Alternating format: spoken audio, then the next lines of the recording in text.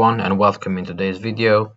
Today we have prepared another example of an L-shaped frame for which we need, according to the exercise, we need uh, to find and determine the support reactions for this frame and it's given that support at point A and point C are pins and at point B it's a fixed joint.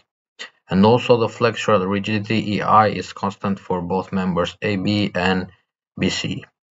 To solve this problem, it is required to use the force method. And the first thing that we need to do is to determine the degree of indeterminacy of the structure. According uh, to the given support conditions, we have pin on point A and pin at point C. Therefore, this will give four unknowns, and we already know that there are three equilibrium equations, out of which if we do the difference, we are going to have 4 minus 3, and it's going to leave us with a degree of indeterminacy of 1. To solve with the force uh, method, there are different ways uh, that we could approach uh, this exercise. For example, uh, one that I could mention is that at point B, we can release the moment.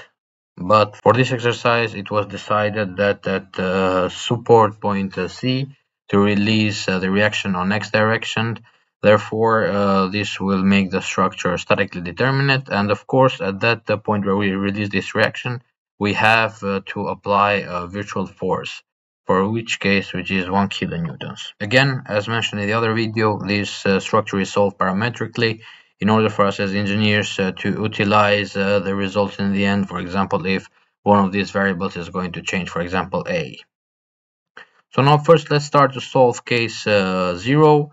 As we already mentioned, the structure is statically determined and what we need to do is that by using the equilibrium equations, uh, we can find the values of the support uh, reactions. In this case, we take the sum of any moments at uh, point A and we define the reaction as uh, zero. And the same thing goes on by taking the force on Y and determining the component A0. Obviously, uh, we also have some uh, load which is acting on the x direction therefore the uh, component on x direction is going to be as shown here.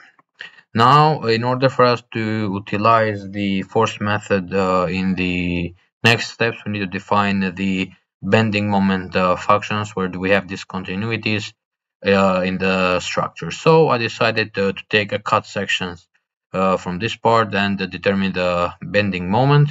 And this is going to be the bending moment functions for x's which lie bigger than uh, 0 and smaller than 2a, which is from uh, this point to this point. And this is the bending moment function for this bar AB. Continuing from the other side, uh, I take the cut sections uh, from the bottom and then I decide the bending moment uh, functions for x's which lie between bigger than 0 and smaller than a, which is this one, this member, member BC. Now we have to do the same thing as we did uh, for case 0, but now we have to do for case 1 where we have to apply that virtual load of 1 kilonewtons.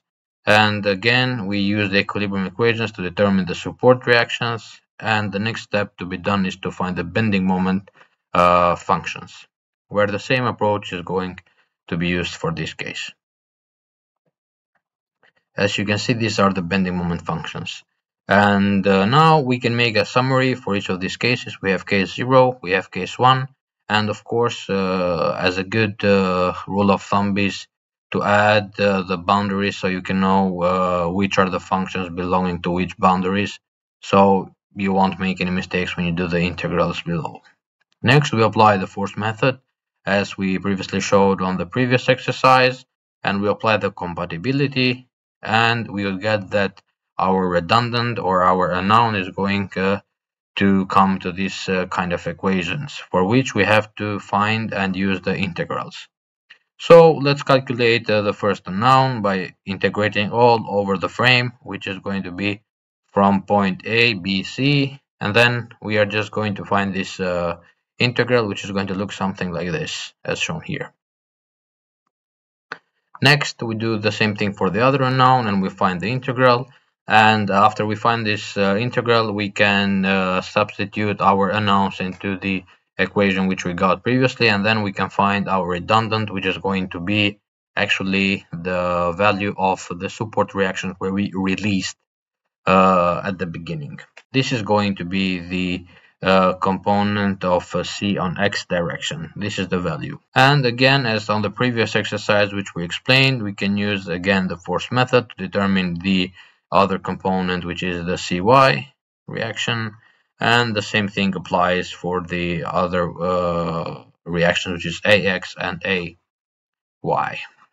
you just have to be careful with the signs. That's why i always uh, like to summarize these uh, results but a good rule of thumb might be to summarize also the uh, results of these uh, reactions because you might need them later when you find these uh, values of these uh, reactions and last but not least uh, if for example we give some value to these loads for example the vertical load and the wind load, the vertical load given a value 10 kilonewtons per meter and the wind load 5 kilonewtons per meter.